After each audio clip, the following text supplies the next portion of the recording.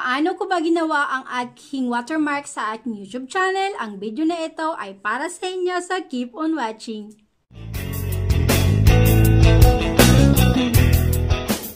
Hi everyone! It's me, LV. Welcome to my channel.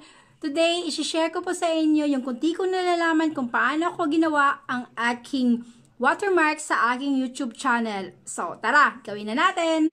Papunta po tayo sa Google, tapos type natin yung photo editor. Tapos punta tayo dito sa photo editor, Be Funky Free Online Photo Editor. Dapat guys, nakapag-save na tayo ng mga pictures na gusto natin gawing watermarks. So, tayo dito sa Create, then Photo Editor. And then Open. Computer. Hahanapin natin ngayon kung saan nakasave yung pictures na sinave natin. So, for example, ito yung gawin ko. So, Open. So, i-resize natin siya guys kasi napakalaki niya. So, punta tayo sa left side. Meron tayong makikita na resize. So, i-click nyo, i-click nyo yon And then, yung lock aspect ratio dapat naka-uncheck -un siya. Tapos, i-change natin ng 150 to 150 yung pictures natin. Tapos, i-click natin yung apply. Yun na siya guys. Tapos na. Isi-save na natin yung ginawa natin. So, punta tayo dito sa save. Computer i-rename ko yung file name para madali ko siyang mahanap. So, smile. Tapos yung format is gusto ko JPG. Nasa sa inyo guys kung anong ga gagamitin nyo. Kung gagamit ba kayo ng PNG, PDF, or JPG. Ako gusto ko JPG. Tapos dapat yung use watermark is naka-uncheck siya. Tapos click the save. And then okay.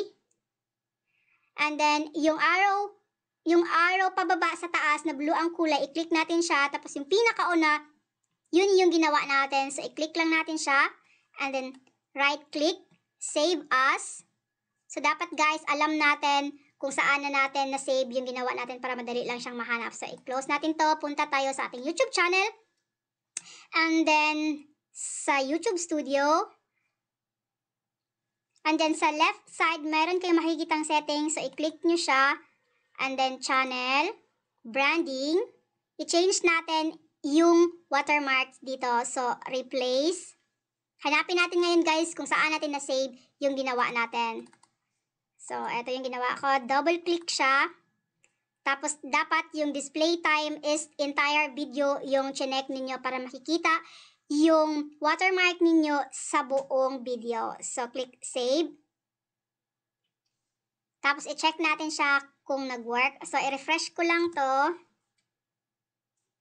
I-play ko muna yung video. So, eto na siya guys, na-change na yung watermark na ginawa natin.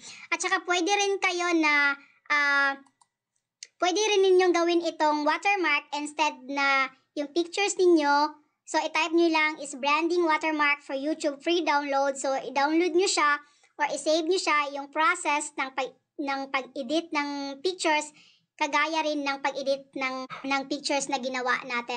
So guys, sana na-explain ko siya ng mabuti at nakatulong ang video ito para sa paggawa ng inyong mga watermarks. So, sa mga nag-subscribe, thank you po ng marami. Sa mga hindi pa po nakapag-subscribe, subscribe na po kayo for more videos to come.